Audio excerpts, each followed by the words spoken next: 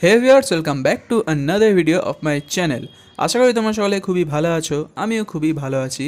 তো আজকে আরও একটা পুজো স্পেশাল ব্লগ তোমার সাথে শেয়ার করব। অ্যান্ড আজকের এই পুজো ব্লগটা হতে চলেছে বড়নগরের নোয়াপাড়া দাদাভাই সংঘ ক্লাব তো এবছর এখানে কিন্তু দারুণ একটি পূজা মণ্ডপ করেছে এবং ঠাকুরটি কিন্তু খুবই ইউনিক ছিল। তো এই পূজা মণ্ডপে কী করে আসবে প্রথমে তোমাদেরকে সেটাই বলে দিই। তোমরা কিন্তু এখানে নোয়াপাড়া মেট্রো ধরে চলে আসতে পারবে, নামতে হবে নোয়াপাড়া স্টেশনে এবং সেখান থেকে একটা অটো করে বা হাঁটা পথেই কিন্তু এই পূজা মণ্ডপে আসতে পারবে। এছাড়া টবিন রোড থেকেও কিন্তু অটো করে এখানে আসতে পারবে। তো এখানে চলে আসার পর এখানে পূজা মণ্ডপটা দেখে কিন্তু তোমাদের খুবই ভালো লাগবে। তো আমরা কিন্তু ফাইনালি এখানে পুজো মণ্ডপে চলে এসেছি, দেখতেই পাচ্ছ।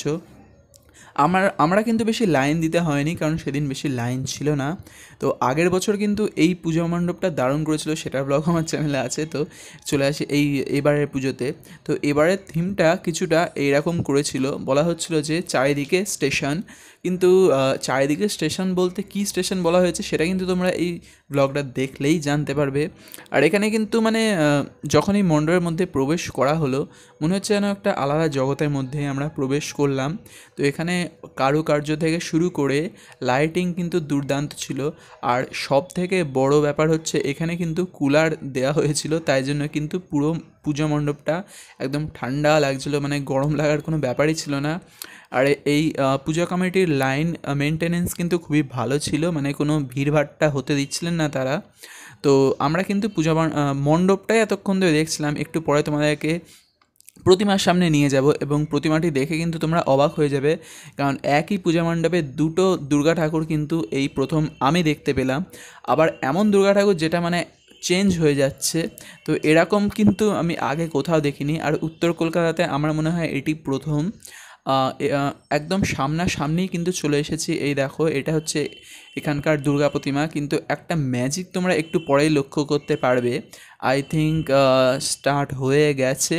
তো এবার ওয়ান টু এই যে দেখতে পেলে? প্রতিমাটি কিন্তু চেঞ্জ হয়ে গেল। তো এটার পিছনে লজিকটা কি রয়েছে? যে ঠাকুরটা চেঞ্জ হয়ে যাচ্ছে, সেটা কিন্তু আমি কিন্তু বুঝতে পারিনি। তোমরা যদি কেউ এই ভিডিওটা দেখে বা সামনাসামনি গিয়ে দেখে যদি এটা ব্যাপারটা বুঝতে পারো, আমাকে কিন্তু কমেন্টে অতি অবশ্যই জানিয়ে দেবো কিন্তু। হ্যাঁ কারণ আমিও ব্যাপারটা না ঠিক বুঝতে পারিনি। আমার মনে হচ্ছে এইটা এই ঠাকুরটা কিন্তু আসল মানে মাটি দিয়ে বানানো হয়েছে বা সিলিকন যা দিয়ে বানানো হয়েছে এবং পরের যেটি দেখানো হচ্ছে সেটি আই থিঙ্ক কোনো প্রজেক্টারের মাধ্যমে দেখানো হচ্ছে। কারণ সামনে কিন্তু একটা কাঁচ দেওয়া রয়েছে। জানি না ব্যাপারটা কি পূজা কমিটির লোকজনে আই থিঙ্ক বলতে পারবে। তো আমার কিন্তু এবছর দাদাভাই সংঘের ঠাকুরটা কিন্তু দারুণ লেগেছে, মণ্ডপটাও দারুণ লেগেছে। কোনো ভিড়ভাট্টাই ছিল না, খুবই শান্তিপূর্ণভাবে কিন্তু প্রতিমা মণ্ডপ দুটোই দর্শন করা গেছিল। আর এদের মানে ম্যানেজমেন্ট খুবই ভালো ছিল। তো এটা কিন্তু দেখা হয়ে গেল। তোমাদের কেমন কি লাগল? এই পুজো মণ্ডপটা, প্রতিমাটি, ঠাকুরটি কেমন লাগল? সব কিছু কিন্তু আমাকে কমেন্ট সেকশনে জানিয়ে দিও। পুজোর ব্লগ কিন্তু আমার চ্যানেলে অলরেডি কয়েকটা পোস্ট হয়ে গেছে। আরও অনেক পুজোর ব্লগ কিন্তু আসতে চলেছে। তো দাদাভাইয়ের সঙ্গে ঠাকুর দেখার পর কিন্তু আমরা গেছিলাম মেলায়। মেলায় গিয়ে কি করেছি, না করেছি নেক্সট ব্লগে কিন্তু তোমরা অতি অবশ্যই দেখতে পারবে। এই ব্লগটা লাইক করে দিও চ্যানেলে নতুন হয়ে এসে থাকলে চ্যানেলটাকে অবশ্যই সাবস্ক্রাইব করে দিও।